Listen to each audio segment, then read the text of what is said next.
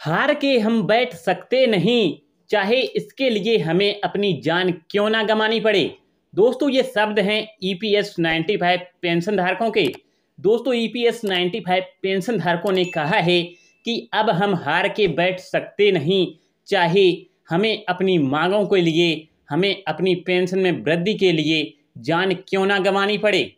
हम लोग अब शांत नहीं बैठेंगे। हम लोग अब लगातार धरना प्रदर्शन करेंगे। जगह जगह पर भूख हड़ताल करेंगे, देशव्यापी आंदोलन करेंगे। लेकिन अब हम सभी E P S ninety five pension धारक शांत नहीं बैठने वाले हैं।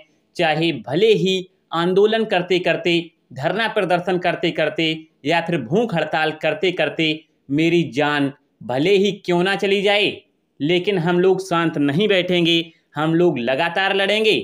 तो दोस्तों E P S ninety five pension धारकों ने एक बार फिर से ऐलान कर दिया है कि अब वो शांत नहीं बैठने वाले हैं। वो लगातार अपनी मांगों को लेकर सरकार के सामने आंदोलन और सरकार के, सरकार को प्रस्ताव भेजते रहेंगे।